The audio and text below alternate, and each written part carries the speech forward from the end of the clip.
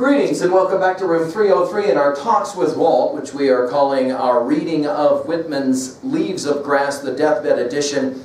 And we are now back with, starting from Paumanok, section number 18 out of 19 sections. So uh, we're obviously coming to the very end. Now, often this uh, little section or poem is called the C section, S-E-E, -E, because of the some 18 times that this word gets used. 12 times this first word in that thing we call anaphora. And then, of course, you have the uh, full number of times that it gets used, 18 times. Now, our assumption is that you've been with us already and at learnstrong.net.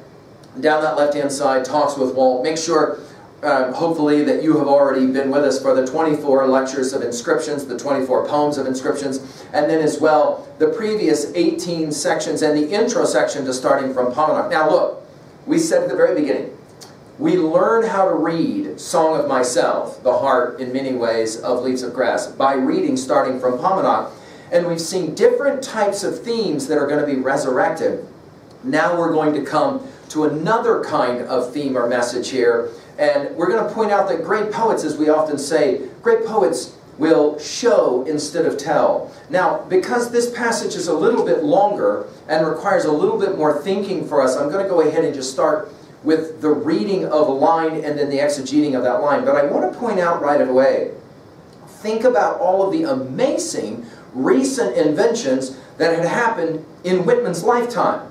The rotary printing press of 1846, the electric telegraph of 1832, and then the steam locomotive, so amazing, in 1829.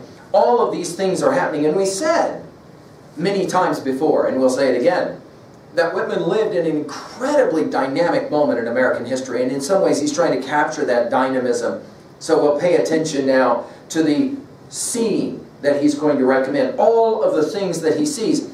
Now, he goes back so many times to Aristotle. We've already mentioned Aristotle in a couple of our comments on different sections of starting from Paumanok. In some ways, Whitman himself recognized that he wanted to be the new Aristotle, the new taxonomer.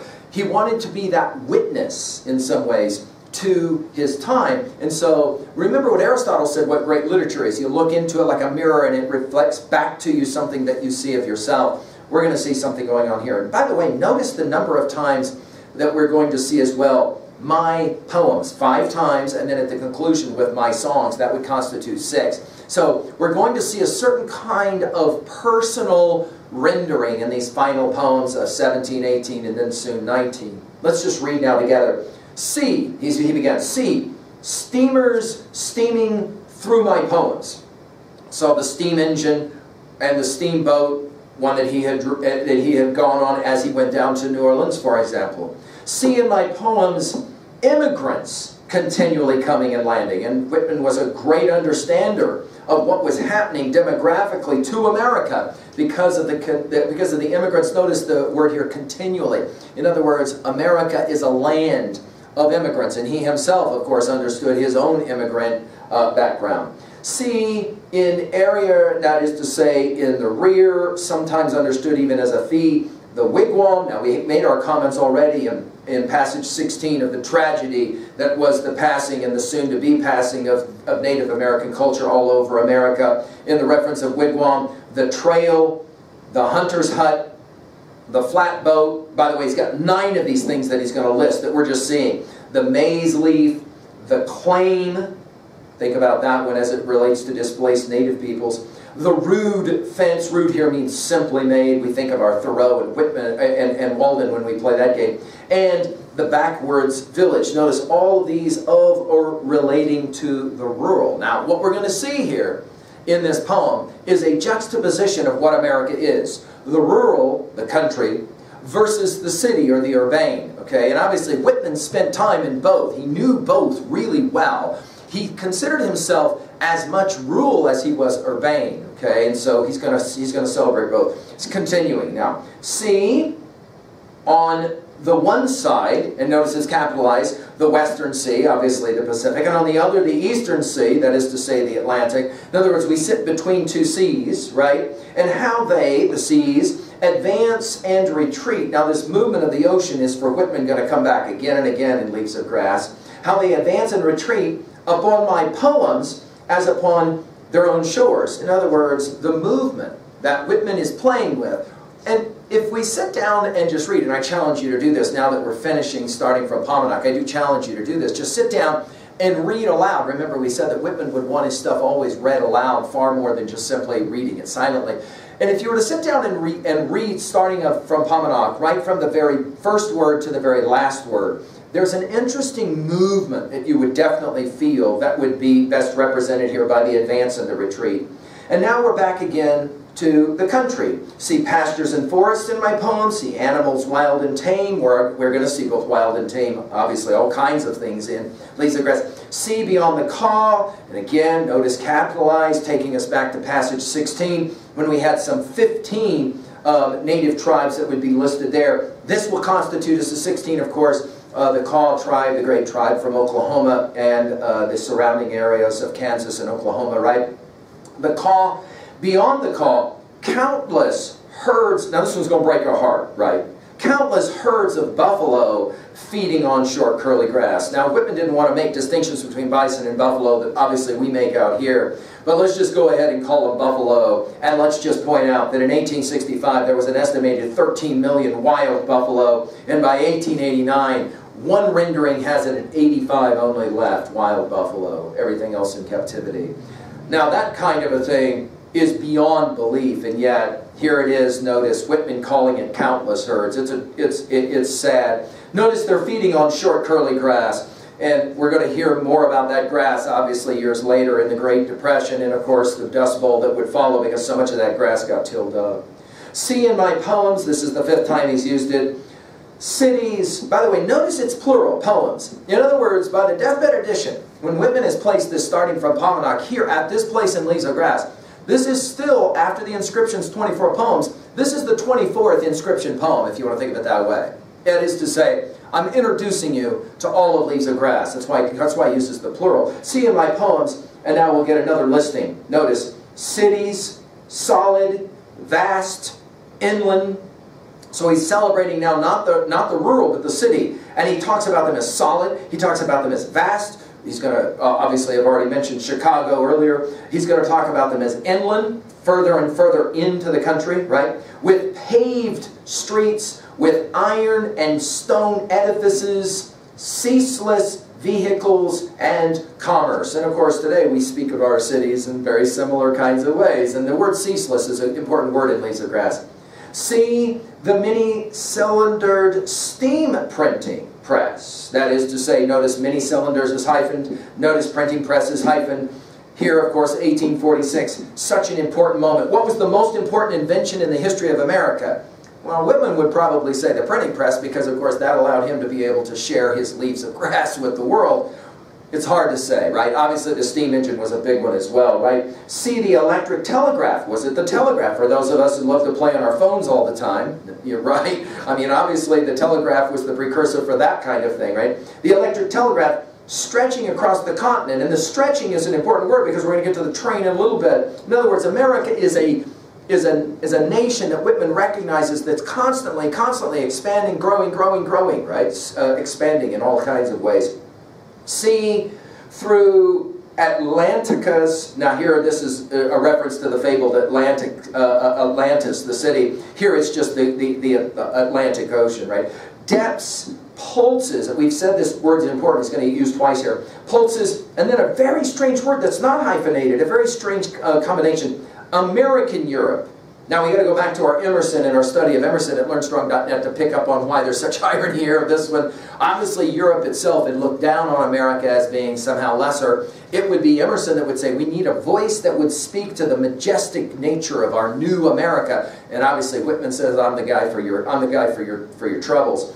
Reaching is, and again, this stretching before now it's reaching. Reaching pulses of Europe duly, and then he uses the elided verb uh, returned instead of giving us the ed, it's the hyphen and the d, to give us, this, again, a sense of the American vernacular. In other words, for Whitman, America is Europe in extension. In other words, beyond anything European is American, and it's better in the end for Whitman, right? And then he continues. See, the strong and quick locomotive of 1829, of course, right?